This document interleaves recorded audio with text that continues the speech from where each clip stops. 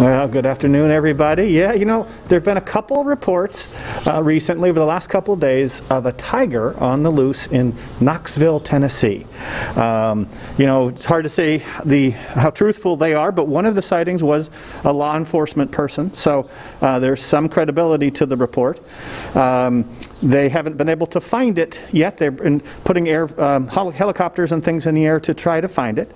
Uh, the Knoxville Zoo um, has tigers, and all theirs are accounted for. And there is a tiger sanctuary in Knoxville in that area as well, and all of their tigers are um, accounted for as well.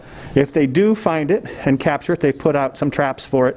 They will take it to that sanctuary to uh, to live. Unfortunately. Um, well, there are a lot of tigers as pets in the U.S.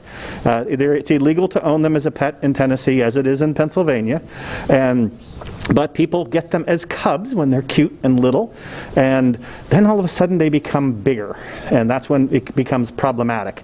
So the guy, this tiger in Tennessee, we'll, we'll call him Tom. I don't Tom the tiger. That sounds good to me. Um, so we'll call him Tom. Uh, he's reportedly to be about 150 to 200 pounds. So that would make him a juvenile. So he's just starting to get big and will only get bigger.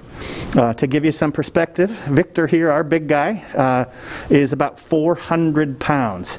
Uh, now, it, depending upon the species of tiger, uh, th this guy may not get that big Bengal tigers, you know, maybe top out at 250, 300, depending if it's a male or female. But um, it's still uh, kind of a frightening thing. Uh, what's also frightening is that there are estimated to be thousands of tigers in captivity in the U.S and only about 6% of them are held in accredited zoos. So that means there's a lot of individuals with tigers out there. You've heard stories about them in apartments in New York and all over, all over the places. So uh, it's not a great idea to get a tiger as a pet. And quite honestly, animals like this, like Victor here, they're important parts of conservation breeding programs that will help perpetuate their species as these guys are critically endangered. So anything we can do to help tigers is a good thing. So hopefully we'll find out maybe it was a hoax or maybe the, they, they'll capture it. But either way, uh, please don't get a tiger as a pet. We'll be back next week with some more wild stuff. We'll see you then.